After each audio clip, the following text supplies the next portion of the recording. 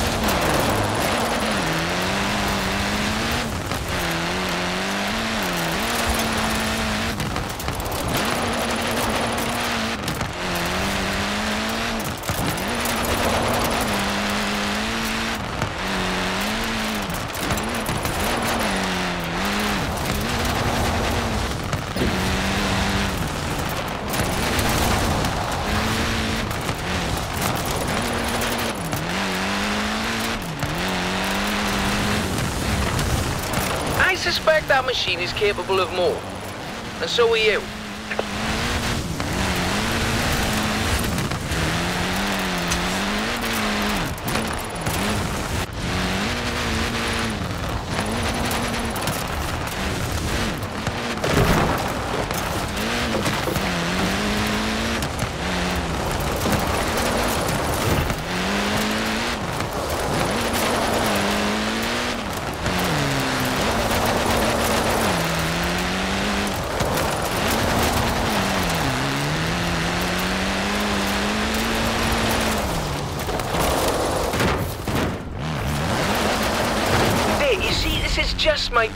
People think drifting is simply losing control of the vehicle, when in fact, you are delicately balancing traction loss with grip.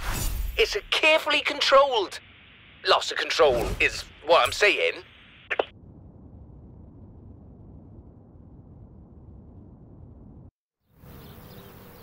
Joel tells me there are drift clubs popping up all over the continent. Berlin, Paris, Amsterdam.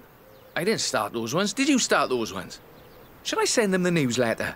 In any case, meet the classic 1969 Mustang Boss. An incredible machine. And that was before they let yours truly under the hood.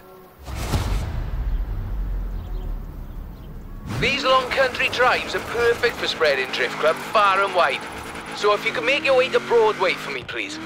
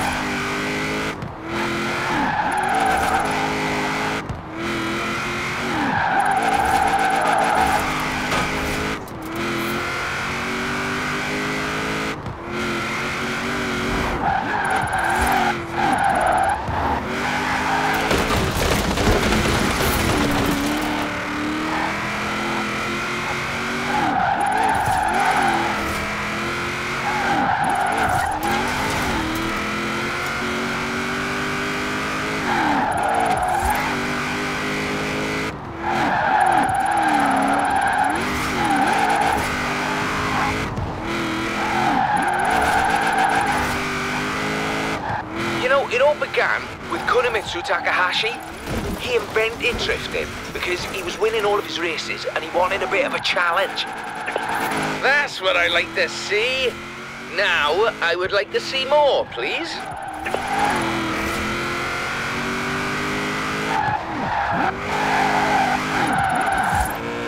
There you have it. Drifting is about entertainment, not just engineering. Some members of our club are a little too fixated on the technical details of drifting, if you ask me.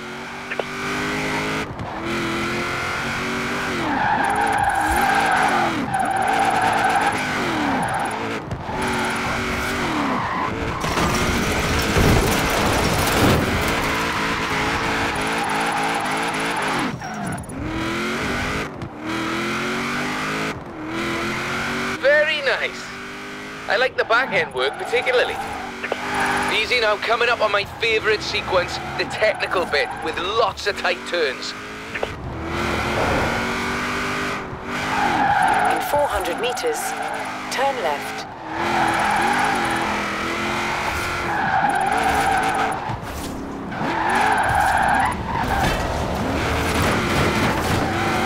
Turn left.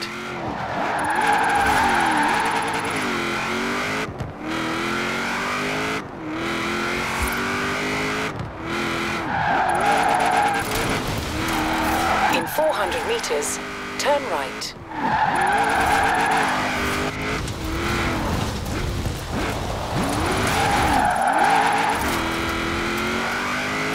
Turn right.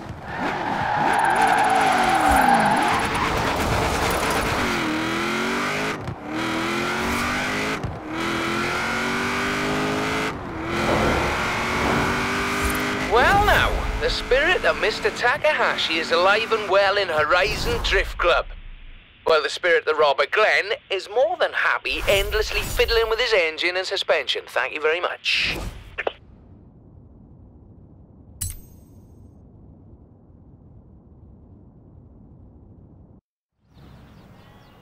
You seem to enjoy your trip through Edinburgh, so we should try that again. Traffic is always light in the morning, so you should have the roads practically to yourself. And I'd like to send you in this. Third gen RX-7 sequential twin turbochargers on a front engine rear wheel configuration. It's rather good, if you like that sort of thing. You should know the way. Though, of course, you're welcome to use the sat-nav. Sorry, I'm not sure why I said that.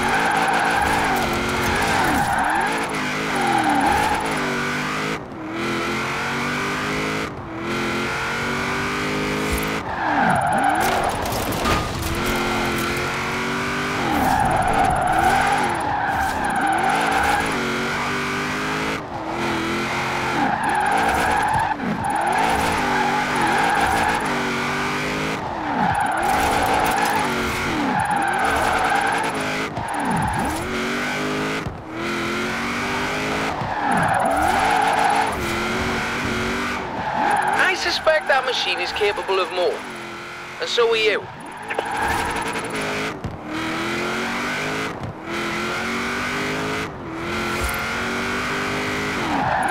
Traffic is generally light in the mornings, but I've had a friend on the council close down the roads for us, so it really won't be an issue. Sorry, uh, no, I'm not sure why I said that either.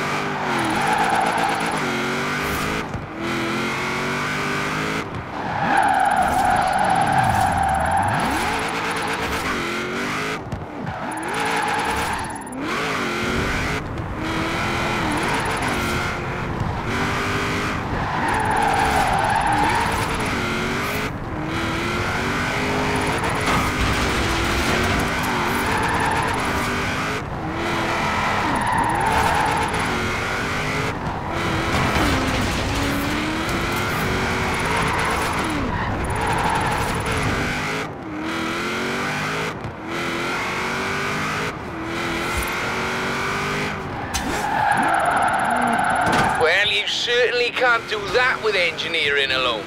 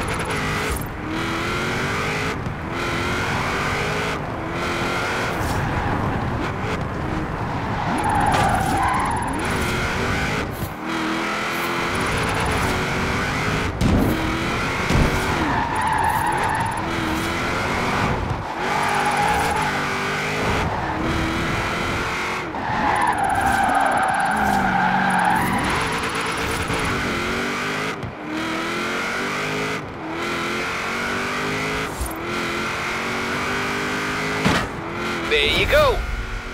Edinburgh Drift, if I might be allowed a little joke at the expense of the film industry.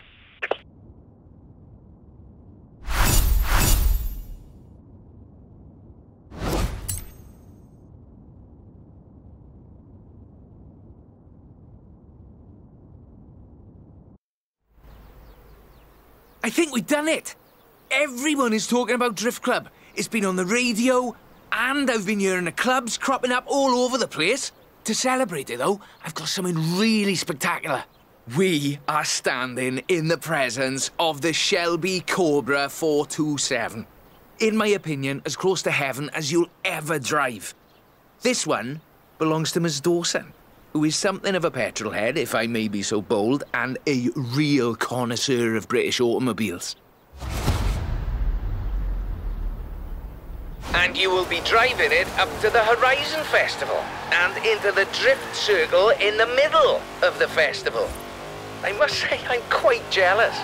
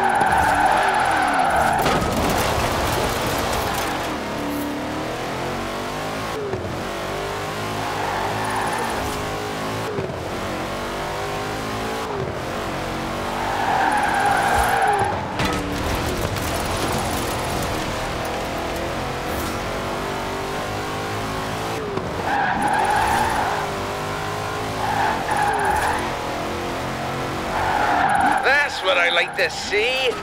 Now, I would like to see more, please.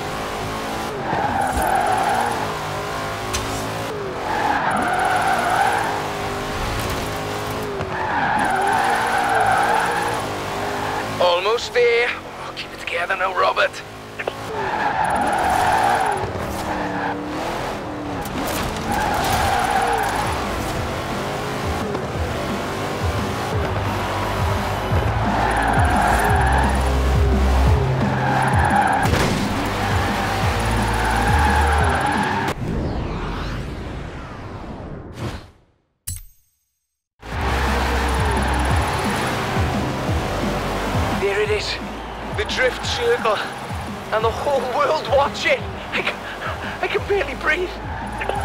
Fabulous. Drift clubbers, take note. There's more where this came from. Flipping, this has really been quite the journey, hasn't it?